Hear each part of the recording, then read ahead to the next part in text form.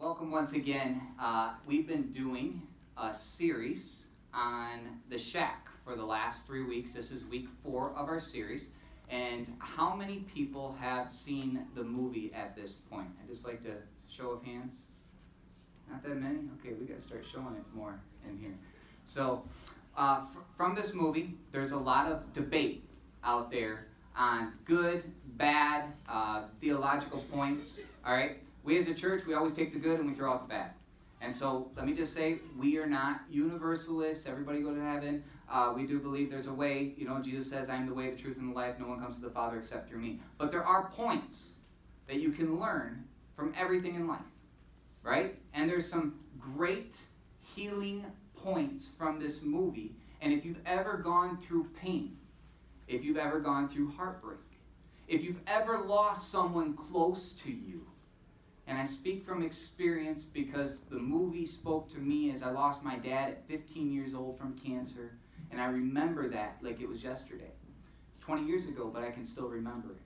And so this movie can definitely speak to your heart, it can speak to anger, and it can help you to heal. And so I recommend it for anybody who's going through something or hurting or angry at God. This is a great movie the shack to see because God can definitely help you through it.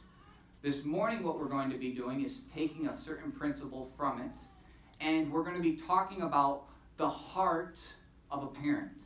How do I know the heart of a parent on, on Mother's Day? How do I know the, the heart of God? And Mackenzie in this movie is really, really struggling. He's really struggling as his little girl, as a father, got kidnapped, killed, buried in the woods. He didn't wasn't able to find the body. They never discovered it until later on. And so he's called with a letter from God to go back to the place where this atrocity happened. And he makes his way back to what they call the shack. The shack is where they found the little girl's dress spilled with blood. And here he is. The shack is transformed, and he's before the Father, he's before the Son, and he's before the Holy Spirit, the Trinitarian God. And God is speaking to him. And he begins to wrestle with something because he's very angry at God. He's angry that God would allow this to happen.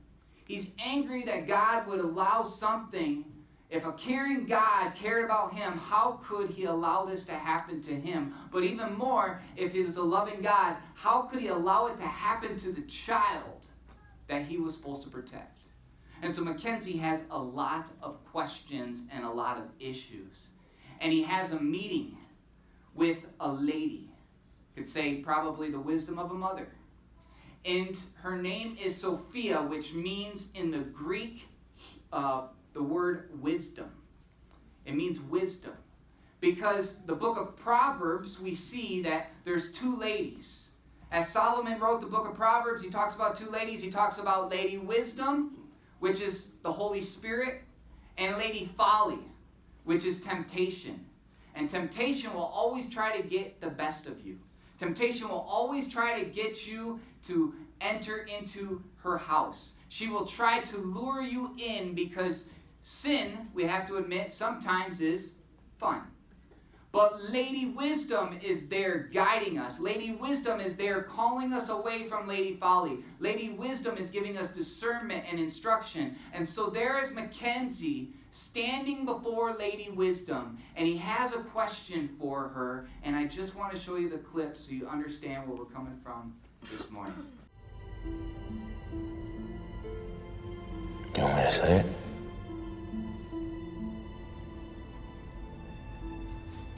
Absolutely. God is to blame.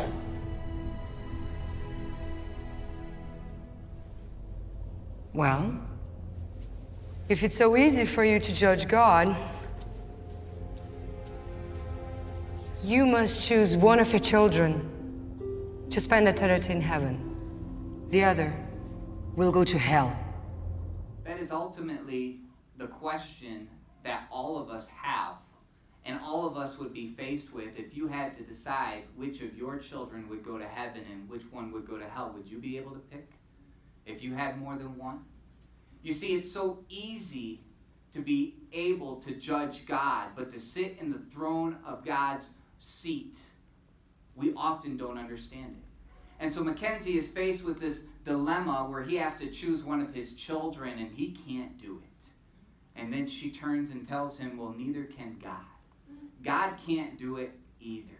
And that's where we'll be going this morning in our passage.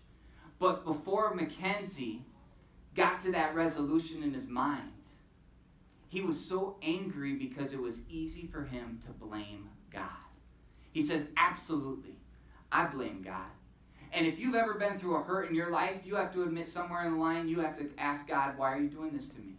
Why is this going on? And, and in doing that, sometimes we will pass blame on to God. Because blame is an easy thing to be able to go to. We don't ever want to look at our actions. We don't want to look at what we've done, and, and but we want to blame somebody. And sometimes we even blame ourselves for everything, and that's even wrong as well. It's just so easy to pass blame. You see, we live in a sinful place in a sinful world, and sometimes things happen because it's not the way it's designed to be.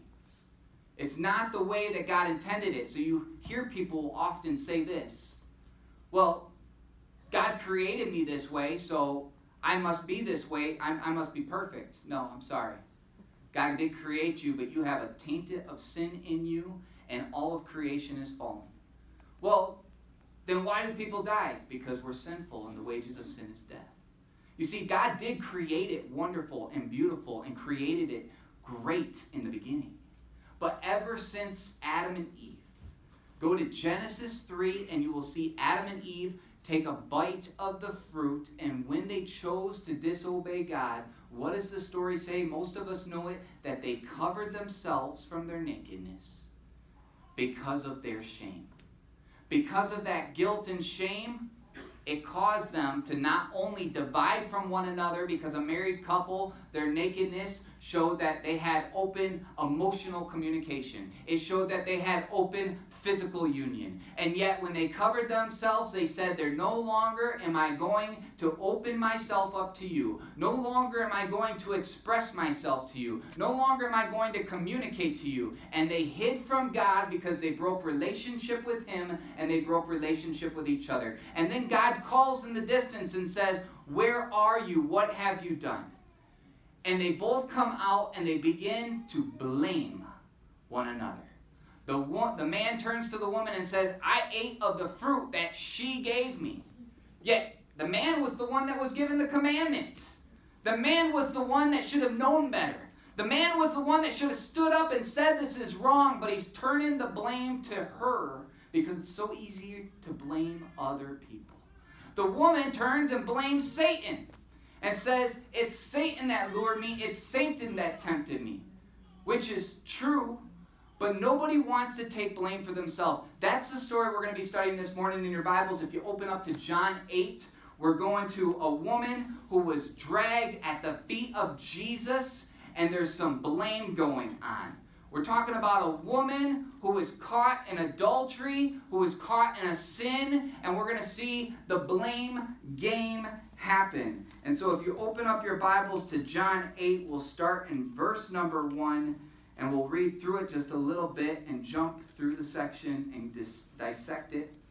John 8, verse number 1. Some of your Bibles might have this.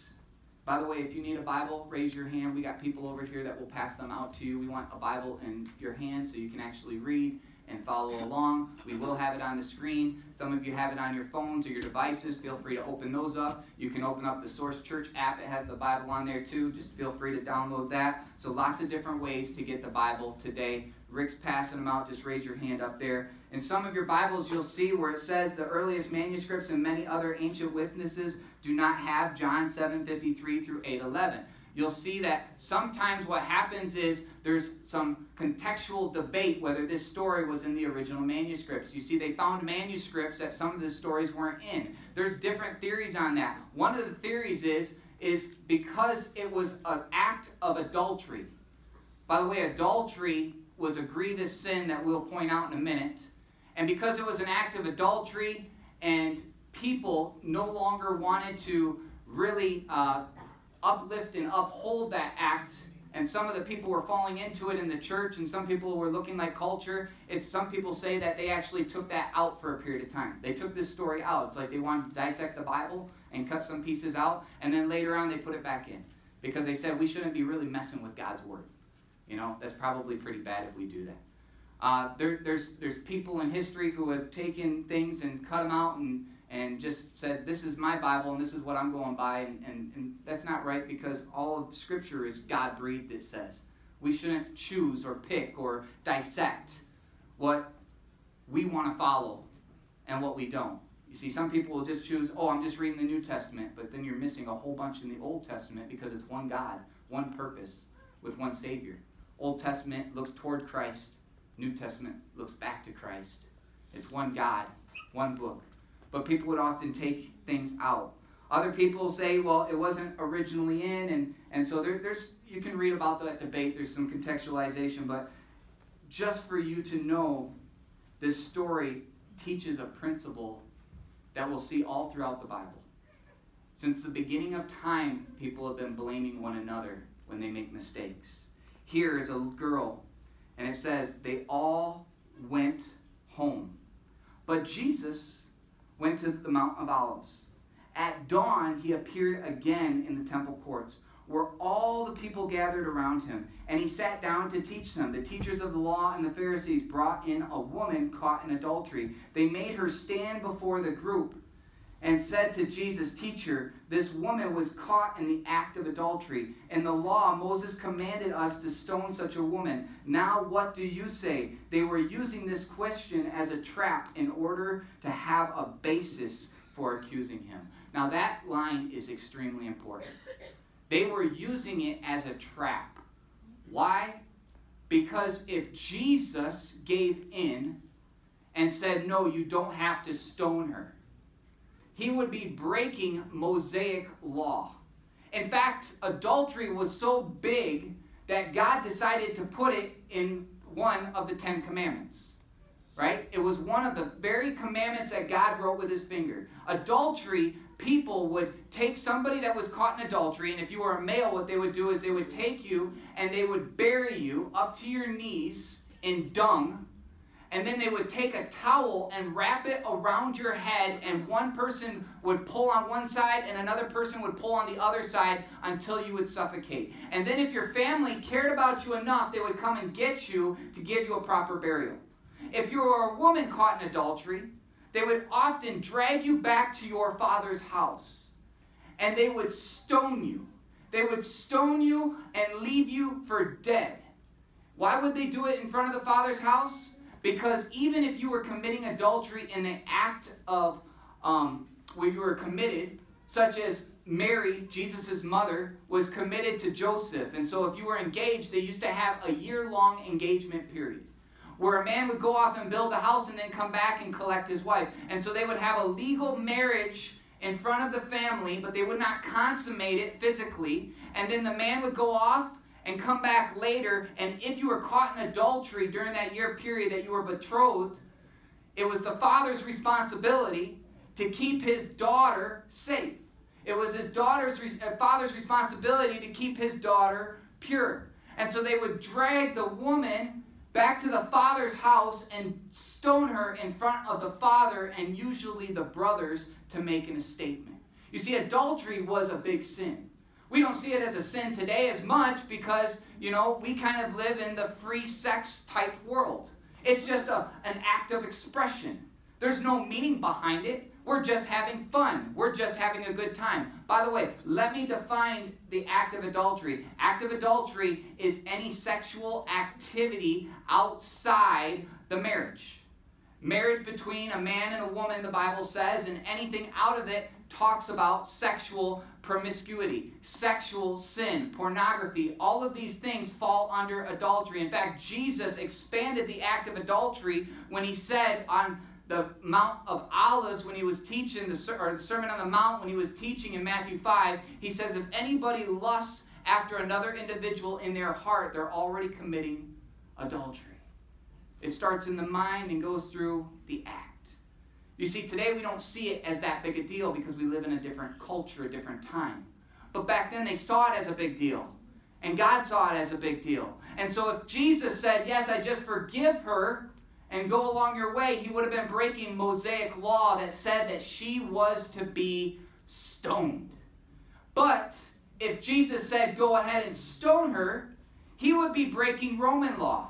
Because Romans, who were the ones who were over the Jews at that time, the Jews were underneath the Romans. The Romans came in. That's why Pontius Pilate was governor of Rome in Jerusalem, and they had to go and get his permission in order to execute Jesus. The Romans were in charge, and they did not allow for Jewish execution without permission. And so they're taking this woman before Jesus, and if Jesus says, Yes, go ahead and stone her, he would have been broken Roman law, and he would have been executed.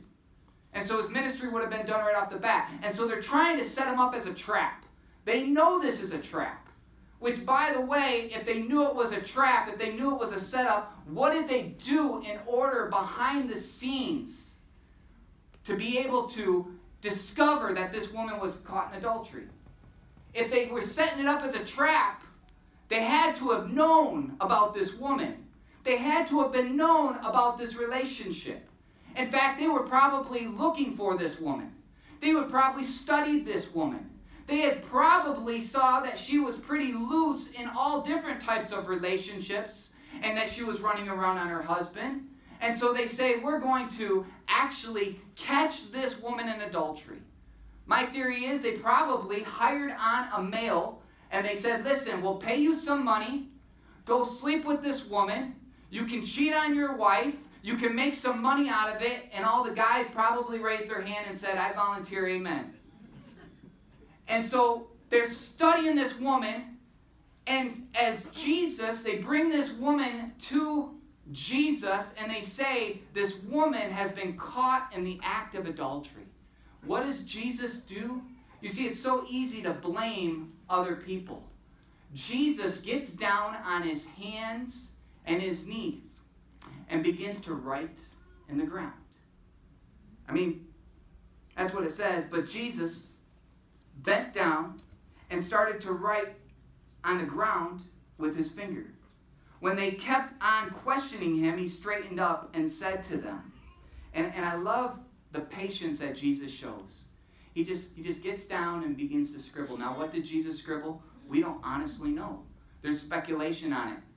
But I believe that Jesus, being God, probably did the same thing that God did with the Ten Commandments. What did God do with the Ten Commandments? How did He write them? He wrote them with His finger on a tablet. Jesus gets down and begins to scribe out with his finger on the ground. Now, did Jesus outline all Ten Commandments? I don't know. Maybe Jesus just outlined this one. It's sinful for another man to covet another man's wife it's sinful for the act to commit adultery. You see, what would happen is as he's scribbling this out, each person would have been able to see what Jesus is writing and realizing in their minds in that moment that they had actually committed a sin as well. Because in order to sabotage Jesus, they would have had to do what? They would have had to study. And so they would have gone to this woman's house and watched her in the act of having sex with another person in order to storm into the house to drag her out. And you're telling me that you're studying her having sex with somebody else, you're studying them, and you're not committing adultery in your own heart? You're telling me that you can watch two other people doing stuff and it not covet your eyes, it not give you lustful thoughts? You see, it all starts. And so as Jesus is scribbling this out, Jesus knew their hearts. Jesus knew their minds. And them being sinful themselves, committing a sin to catch Jesus, to catch this woman in the act, to set him up, they drag this woman before Jesus. And Jesus begins to start to say, Well, are you so pure here? I mean, there's other places in the Bible that it talks about that as well. Jesus says, Why are you going to pick out the speck of your brother's eye when you have a log in your own? You see, it says, do not judge one another. That, Jesus isn't saying that we shouldn't judge. Because the truth is, God judges salvation, but we judge by the fruit. We judge people on what they're doing. If we could never judge, because you hear people say that, right? Well, God says you can't judge me. Well, the truth is, if that was true, then we would never be able to come along our brother and sister in Christ and say, There's some things in your life that I'm seeing that aren't good here. And I'm just calling you to account because I care for you and love you. You say, Don't judge me. You don't understand. I'm not judging you, but there's things in this Bible that are wrong. And I'm trying to point this out to you because I care and I love and I want the best for you. And so people all the time will say, You can't judge, but, but God says we need to judge by the fruit. We need to study. The problem is, we often want to judge the outsiders, we want to judge the non Christians. You see, God never called us to judge the world, that's His job. God called us to judge the insiders. God called us to judge the Christians among us. That's discipleship, that's discipline. That's walking beside one another in love when he says, confess your sins to one another. It's not in order for someone to beat you up or to gossip about you. It's for someone to be able to walk beside you. It's for someone to be able to give you accountability. It's for someone to show you grace. It's for someone to help you grow. That's the purpose of it. And so, so often people will say, don't judge me because they just want to continue doing whatever they're doing. But God shows grace. Jesus shows grace. And he shows grace to this woman. So I want to talk to you about my very first point beyond blame. If we can get beyond blame. Because what's happening is the people are blaming this woman. By the way, where is the man in the story? Where's the man? You see, they're trying to blame and put everything on this woman, but you're telling me the man isn't at fault? You're telling me the man isn't being dragged and, and being suffocated and, and going through. And so they're trying to set up Jesus and they're trying to set up this woman. And they're pointing blame within their own hearts. They hate Jesus so bad. In their own hearts, they're lusting and coveting, and yet it's so easy to look at the sin of her instead of themselves. Isn't that what we do when we blame one another? In our relationships, in our marriages, in our family, you see, I tell people, all right, admit to your blame, but there are other persons to blame. It was my boss. It was my coworker. I said, yes, maybe they're at 99%. Do you have 1% of responsibility that you can own up to and claim and say you're sorry for? Even if it's 1%, yes, they're at 99. But in order for people to fight, it takes two. And it's so easy to pass blame. But it's not till we get beyond blame that we can experience the grace, that we can find freedom, that we can find healing, and we can actually sit down and have real conversations with one another when we're not yelling and screaming and blaming because blame turns to anger and anger that's not dealt with turns to bitterness and bitterness turns to spite and then it just turns to grudges and it begins to harden our hearts. It allows honestly, Satan and the demons to oppress us because that's the one thing that they cannot do is forgive. And so unforgiveness they use as a doorway into our life and to be able to oppress us. Jesus finds a loophole. I love that. Jesus finds a loophole. He bends down with his finger, he writes in the ground, and this is what he says All right, I'm not going to go Mosaic, I'm not going to go Roman. You guys do what you want to do. By the way, why are they bringing this woman to Jesus? Because they really should have been bringing her to the high priest. They really should have been bringing her to the priest. You don't bring somebody caught in adultery to a rabbi or to a teacher. You don't do that. But they bring her to Jesus because they're trying to set him up. But Jesus, just so smart, says, here's what he says Let any one of you who is without sin be the first to throw a stone at her. Again, he stooped down and wrote on the ground. You see, Jesus just gives a small bit of advice and says, then go do what you want, and begins to write on the ground. And as he's writing out, maybe he's writing out the sins of each individual there. And one by one, they begin to leave from the oldest, because maybe the oldest realizes They're, they're sinners most, all the way to the youngest, who is probably the most prideful. And they begin to drop their stones and leave. And then Jesus hmm. turns to her, and I love this part, and he says, Has anyone condemned you? You see, the only one who was able to condemn, the only one who was able to actually stone her or to cast a stone was Jesus. And yet, Jesus, as they're left alone, Jesus decides to show her grace. Second point I want to talk to you is how grace comes from love. Grace comes from love. It's only when we're be able to get beyond the blame that we can experience grace. And the grace comes from love. It's when you're able as a parent, and you know this for some of the moms in here on Mother's Day, you're able to look past some of your child's sins. You're able to look past some of the things that they have done because you're able to remember that little boy or that little girl that you nurtured, that you cared for, that you loved so tenderly. You see the person and not the sin. You see the person and not the act. That's what Jesus does. He doesn't remove that she's a sinner. She does, he doesn't sit there and say, you know what, it's okay, just go off and commit some more adultery. No.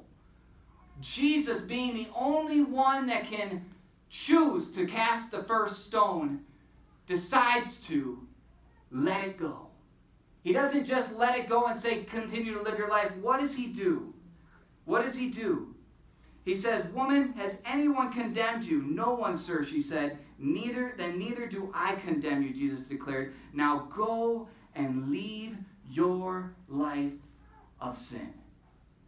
You see, Jesus, the only one that was able to condemn had the Father's heart where he cared and he loved for her so much. And he says, I'm not going to sit here and throw stones at her. I'm not going to condemn her. I'm not going to beat her up. No, what I'm going to do is I'm going to step in her place. Just as we saw in the video that Mackenzie could not choose which child to put in hell and which child to put in heaven. Mackenzie couldn't choose which child to save and which child. And so Jesus says the same thing. I'm not going to choose between this person's sins. I'm not going to choose between your sins. I'm not going to choose between your sins. I'm not going to say, oh, because you're an adulterer, you have higher sins. Oh, but you committed theft, you have higher sins. Oh, because you have uh, a hard heart and a hard heart with vengeance in it. I'm judging your sins. What about some of the things that we're called to do that we don't do when we're supposed to love one another or good gifts or, or actually hand out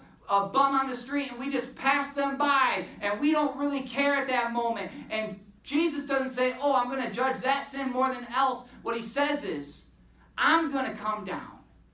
I'm going to pay the price because I am the only one that can pay the price for her.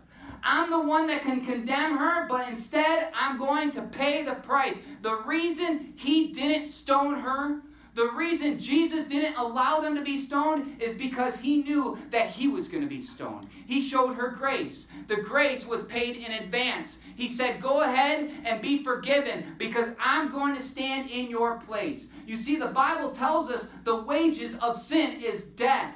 And God doesn't just say, Go ahead and have a free pass go on your merry way. Instead, somebody has to pay the price. But because God doesn't want to choose between you or me, He says, I'm going to pay the price for her. Amen? God chose, amen. God chose to be stoned so she didn't have to. And God chose to die on the cross so you don't have to. God chose to stand in your place. That's what we call substitutionary atonement. He went to the cross, and he went to the cross because of what I've done. He's went to the cross because of what you've done. He went to the cross because you've chosen somewhere in your life to commit adultery on God. Because adultery, the Bible says, is that God married the church. And the church is the bride of Christ, and God is the groom. And yet we have decided to betray, to follow other idols, to betray our groom and to run around and to do our own thing and to run and flee. And yet God still chose to show love. God stood in the place on the cross for her so she did not have to be stoned. You see, it was grace. And from grace comes love. And then from love, we can actually find the heart of a parent. I want to talk to you, my third point, the heart of the God. And you know, so many times we refer to God as a father, but here I just want to say the heart of a parent because mothers and fathers have hearts for their children. And they need to show them and, and teach them. And it's just as Jesus straightened up and asked her, and he said, Woman, where are they? Has no one condemned you? No one, sir. She said, Then neither do I condemn you. Jesus declared, Go now and leave your life of sin. Jesus held her accountable for her sin. He didn't just dismiss it. He said, You're still a sinner. You're still an adulteress. You've still done this, but quit it. Go and leave that life. Go and experience freedom. I've shown you grace. I've shown you love. Now you have a second chance. You have a second opportunity. I stood in your place so you didn't have to. And it's from that love and grace that transformation happens. It's from that love and grace that she learns to follow Jesus. It's not through him beating her up and, and beating her down. Because you know what? So many people had done that in her life. She was used by those individuals to set up Jesus. She was used by that man that she fell into adultery with. She was being used and abused as a woman. And Jesus is the first man and first individual that shows compassion and real love to her. She was looking for love in all the wrong places. She was looking for love from individuals where she was running around from person to person where they could easily spot, oh, we could target her. She could be an easy setup for us. We'll trap Jesus with her. And so she was looking for affirmation. She was looking for kindness. She was looking for love. And yet, Jesus, as the first individual who stood there and loved her and gave her words of encouragement. I heard of a pastor this last week who was talking about an airplane ride that he was on with a young lady and the young lady was traveling to the dorm room to live with her boyfriend. And she was moving from one state to another. And the pastor was asking her all these questions on the plane as he sat next to her. Never told her he was a pastor till later on. And, and she's talking about how, oh, you know, we're going to have this great relationship. We're going to have this great time. And, and he says, well, what's your plans? What's your mission? What's your vision in life? And I don't know, but I'm just going to be happy with him. Well, is he planning on marrying you? I don't know. We're just living and going one day at a time right now. We're just going to live together. Well, is how do your father feel about this? Well, I'm old enough to make my own choices. He's out of the picture. I really don't care what he thinks. I'm I'm a grown up now. And his pastor was talking about how it was just breaking his heart as a dad because he wanted to stand up for this girl. In fact, when they got off the plane, She's standing there and he says, Do you need my phone to call him? And she said, No, I'm taking a cab. Well, why? Because he's not willing to pick me up. He's busy, you know, so I'm going to take a cab. And he's like, Man, this individual, if I was your dad, I would kill him. And I would be doing prison ministry from the inside. because she's looking for this love, and what this guy's going to do is just use and abuse her because he doesn't even care enough to pick her up at the airport. He doesn't even care enough to drive over there. He's not looking for relationship. He's not looking for covenant. He's not looking for commitment. He's not looking for marriage. And she's going to just cook for him while he does his studying and clean for him until he finds somebody better, and then she's going to be tossed aside. This was the woman at Jesus' feet. And this is the woman and children and girls and young girls today who are out there who are experiencing life and they're looking for someone who just cares and loves them enough. And Jesus is standing there saying, I love you. I care for you. I stood in your place so you did not have to go to that cross. I substituted my body, my flesh, my blood was spilt for you. And that's love and grace when we're willing to sacrifice for one another. That's true love, and that's what we should look for in relationship. And God the Father says, I love you that much that I can't judge you. I'm going to judge you by putting the punishment of death on myself so you can live. Amen. One final point one final point I want to make to you. As, as Jesus says, Go, live your life. Jesus, in order to connect with the parent's heart, substitutes himself kind of like this. There was a young man who continued to come home late. And his parents are sitting there at the dinner table, and the dad looks up and says, You know, your mom cooks this meal for us every single night. You know what time you're supposed to be home. You continue to come home late. Young man says, Yes, I know. Eats his plate of food and, and leaves. Next day, comes home late again.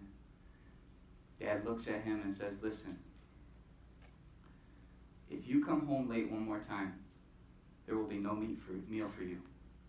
If you come home late one more time, we're just going to eat without you between because we're tired of waiting for you. We've told you the rules, you're not listening. Young man says, okay, leaves next night, comes home late again. That night, there's only two plates set. That night, there's only two meals on the plates, and they're sitting there. And he comes in and sits down, looks around, and there's no meal for him. And when he understood grace, and it's Mother's Day, so I'm going to say the mom did this and not the dad, but the mom looked at him and said, Here. And she passed her meal over to him. You see, somebody had to sacrifice, somebody had to be obedient. Jesus cannot say, oh, sin is just fully forgiven, just go, because the payment has to be paid in order for us to worship a righteous God. He's just, and he has to do what he says. And if he says the wages of sin is death, then it's death. But the difference is just as that mom sacrificed her meal for the love of her boy, and he looked at his mom starving there, not eating, giving up her dinner so he can partake, is the same invitation that Jesus gives to all of us. He says, Woman, go and sin no more. Break this lifestyle of sin. Break this lifestyle of adultery. Break this lifestyle that you're living and come with me. I'm sacrificing to show you love. Now experience the freedom behind it. It's the same invitation that Jesus gives each of us. And so I don't know what sin you've committed. I don't know what sin is hanging over your head. I don't know what's weighing you down this this this morning. Maybe it's even some of us probably in this room have even probably committed adultery sometime and we have guilt or shame in our hearts. Or maybe it's we've lusted in our hearts. Maybe some of us are, let our minds go to even pornography and chased after things and breaking that covenant relationship. Maybe some people have hurt others and, and cheated and stolen. I don't know what it is. Maybe there's some unforgiveness in your heart that you need to extend to somebody. Whatever it is this morning, Jesus is offering you an invitation that He's paid the price on the cross. Now go forward from here and sin no more. Receive His forgiveness. Receive His grace. Receive His open invitation of love, where He says, Here, you experience life and not life that wants to contain you or trap you, but life in abundance. And you experience because I'm sacrificing myself. And I'm going to go to prayer right now. And if there's something that you need prayer for, what I'm going to do is I'm going to have the prayer team, all right, over here to the left and over here to the right. And you feel free to come down and get prayed over this morning. You feel free to come and, and just have someone pray over your life. And maybe it's you just need help with finding some forgiveness in your life. Maybe you need to receive Jesus for the very first time because you've been walking with this rules and walking with this regulation and walking by the rules of, of, of religion and you've never experienced true relationship. Maybe you bounced from church to church and from person to person and Bible study to Bible study, but you've never really felt the presence of God or Jesus or His love. And you just need to receive Jesus for the first time.